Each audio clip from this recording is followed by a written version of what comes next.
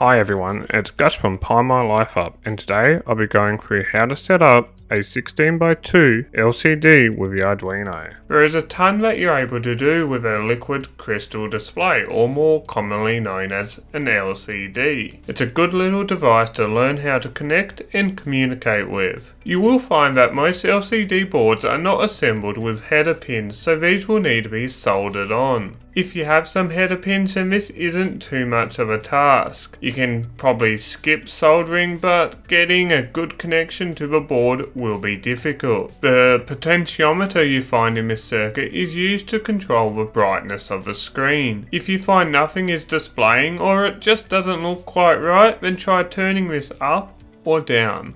The circuit for the Arduino LCD is actually surprisingly easy. You'll find that the most off-putting thing about it is how many wires there are that needs to be hooked up. So if you have an LCD display that needs to be soldered, it's a pretty straightforward process. Place the header pin so that the short side sticks up through the holes on the display. Now solder the pins one by one, ensuring that you don't accidentally connect two up. If you do accidentally connect two up, then you'll need to use something like a solder sucker to get rid of a excess solder, then try to do it again. Once done, it's ready to use. Now you will need the following pieces of equipment to get this project together. The Arduino Uno, the 16x2 LCD board, a 10k ohm potentiometer or also known as a pot, breadboard wire, and of course a breadboard. So to get the circuit hooked up, place the screen onto the breadboard. Place the pot onto the breadboard. First hook the 5V pin from the Arduino to the positive line on the breadboard. Now hook the ground pin to the ground rail on the breadboard. Place the following wires to the LCD screen with pin 1 being the closest to the edge of the board. Ground rail to pin 1, pin 5 and pin 16 of the LCD and also add one wire to the ground pin of the pot. Now for the positive 5 volt rail, wire to pin 2 and pin 15 of the LCD and also one wire to the positive pin of the pot. Now take a wire from the middle pin on the pot to pin 3 of the LCD. Now let's wire the following Arduino digital pins to the LCD pins. So pin 12 on the Arduino to pin 4, pin 11 to pin 6, pin 5 to pin 11, pin 4 to pin 12, pin 3 to pin 13, pin 2 to pin 14. Now that's all done, it's time to move on to the code.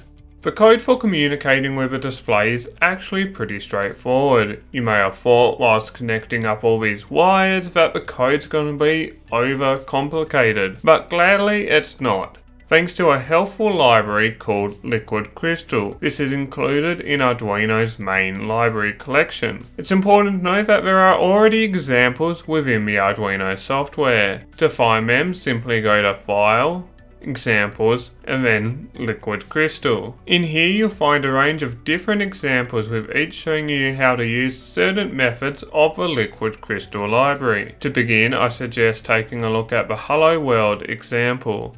In the code you will need to set up a variable of type liquid crystal, as you can see here. Liquid crystal LCD 12 11 5 4 3 2. The numbers that are passed as parameters represent the pin number on the Arduino we have connected to the relevant pin on the display. Here is an example of a function again, but instead it contains the corresponding pins on the LCD.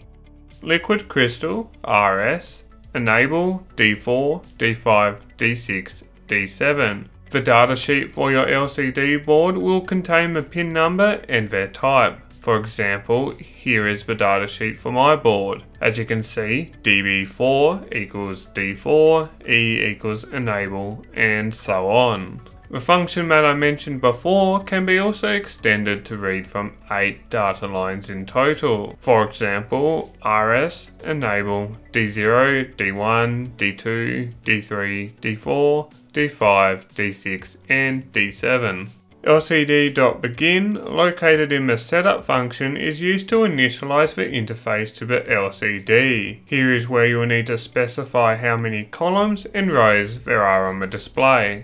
For example, my display has 16 columns and 2 rows. This means we need to set it up with 16 as the first parameter and 2 as the second parameter. If you ever need to clear the display then simply call the method lcd.clear. This will wipe the display so that you can display a new value on there. Make sure you have a delay beforehand so you're able to see whatever is being displayed on the screen before it is wiped. If you ever want to move the cursor back to home or position 1 rather than clearing the display, then lcd.home will do this.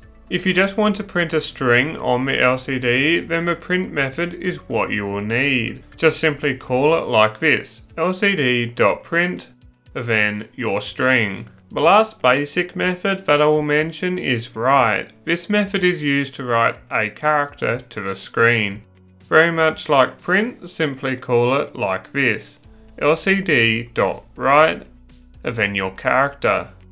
Now there is a ton of things you're able to do with an LCD screen. I will touch on just a few ideas that I am think of covering in the future. Now you could bundle this with a temperature sensor and have a digital temperature display for your fish tank, room, outside or just wherever you'd like to know the temperature.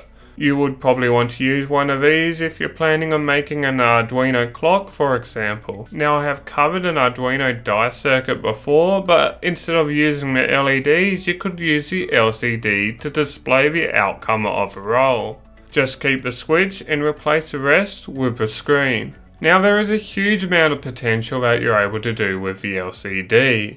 I'll be looking at doing some future projects that incorporates this cool part. Now I hope that you have the Arduino LCD display hooked up and working correctly. If you like this video, please give it a thumbs up and subscribe.